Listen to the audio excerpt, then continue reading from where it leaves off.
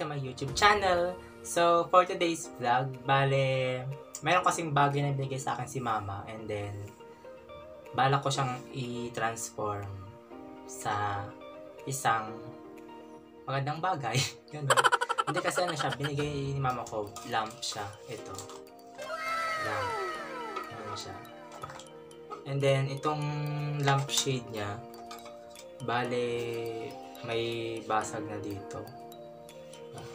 Ah, Ayan. Ayan, may, ba basta yun, may basag siya dito. And then, tsaka, ano, tag dun, ang dumi niya tignan. So, balak ko siyang i-transform into a galaxy. Galaxy lampshade. Basta yun, galaxy, galaxy. So, bali pumunta na ako ng, ay, galing ako ng simba kanina, ng simbahan, and then, bumili ako ng mga materials, which is itong, ito, poster paint, and then, nabili ko siya ng 63 pesos. Meron na siyang 1, 2, 3, 4, 5, 6, 6 na colors, and then, puro primary, primary color siya, kaya, madali na lang, bali, mabimix na lang tayo ng colors. And then, Bumili din ako nitong mga glitters. Itong blue, silver, tapos violet. Parang ano lang, dagdag effect ganun. And then, itong mga brush natin. And then, tinanggal ko na yung lampshade, but ito na siya. So, kung natin gagawin guys is, lalagyan muna natin ng white, itong buo, para magiging base na lang. So, yun na guys. So, ganito pala yung itsura ng paint niya, guys. Bali, magkakasama na siya and then, i-open-open mo lang siya. Ito yung white. Ayan. So, yun na guys. Start na tayo.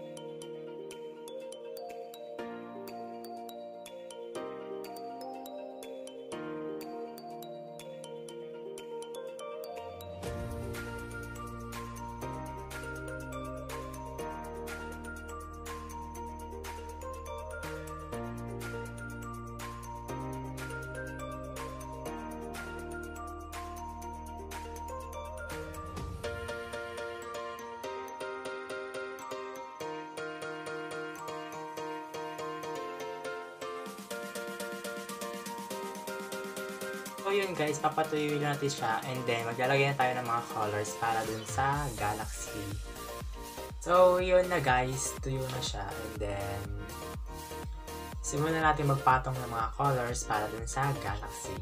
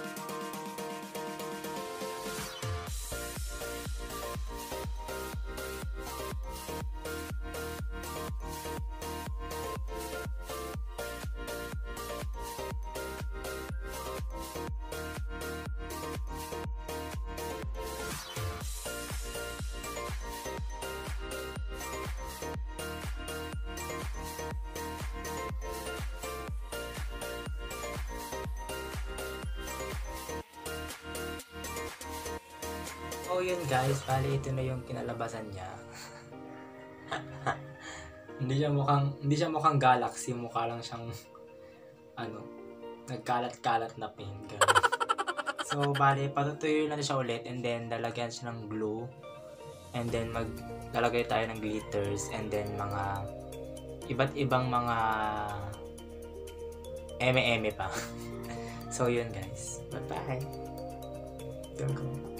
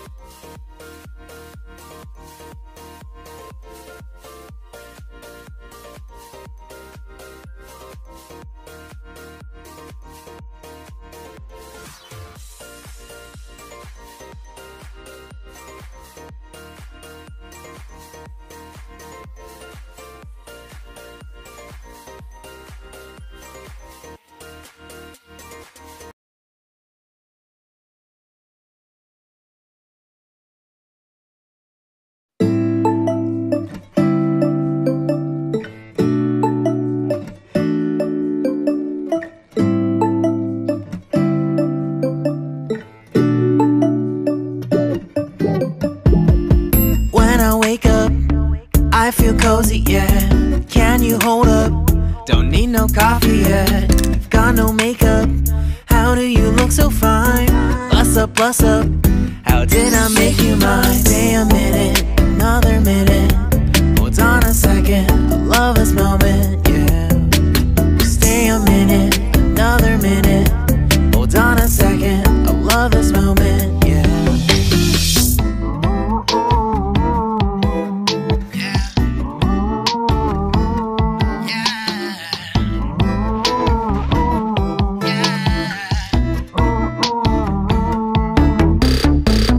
guys, yung final output natin. So, ito na siya. Uh, yung glitters niya yung ano, kumikinang-kinang.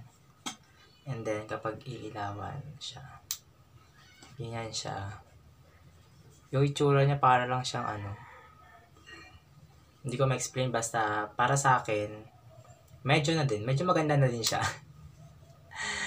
Bale, kung gusto niyo siyang tularan or gayahin, it's up to you guys. Pero para sa akin, hindi siya ganun ka-perfect but ano, not bad. Not bad naman.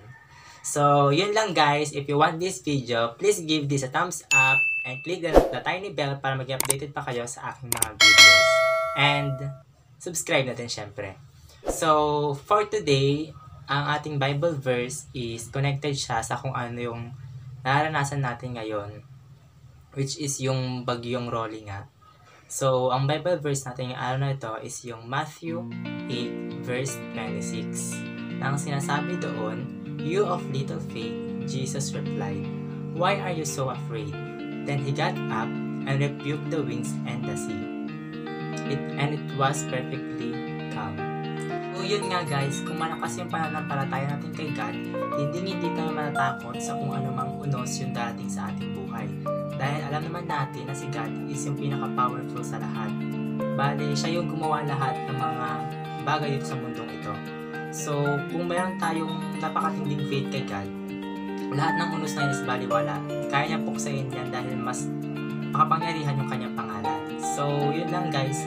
Kung malagpasan man, natin tong unos na to is dapat wag na wag pa rin tayong titigil na manampalataya sa kanya. Kung nakuha na natin yung yung pinag-pray natin, dapat patuloy pa rin tayo mag-pray sa kanya. So, yun lang guys. Keep safe. God bless.